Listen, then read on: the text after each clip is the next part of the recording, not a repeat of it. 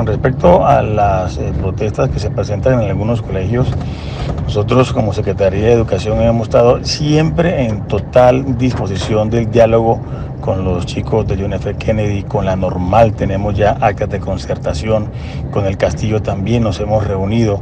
Eh, con el Colegio Llanito, precisamente vengo saliendo de reunión con el Llanito, donde les he puesto en contexto todo lo que estamos haciendo para la formulación del proyecto, los avances y demás. De tal manera que pues eh, ya estas eh, manifestaciones pues no sé si, si, obedecen a otro tipo de intereses, pero desde la Secretaría hemos estado haciendo toda la tarea en cuanto a transferencias de recursos directamente a los rectores, las adecuaciones que se han hecho en más de 40 restaurantes escolares de la ciudad. Dentro de poco estamos a punto ya de adjudicar una obra que, que, interviene más o menos 24 instituciones educativas, dentro de las que está UNF Kennedy.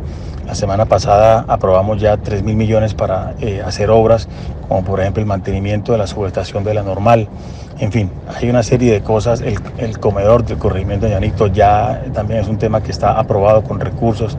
Entonces, las cosas se han venido haciendo y yo he estado sentado con todos los muchachos personeros de estas instituciones, John F. Kennedy, la Normal, del Llanito, del Castillo, con todos ellos me he sentado y siempre les he manifestado la disposición siempre al diálogo con ellos, de tal manera que yo los invito a que reflexionen, a que sean razonables y que vuelvan a clases, además de que saben que ahorita en el mes de agosto tienen que presentar las pruebas y todo ese tiempo que se pierde los va, eh, los va a perjudicar. Entonces, es momento de que reflexionemos, volvamos al diálogo, sentémonos y que las clases sean nuevamente retornadas en esos colegios.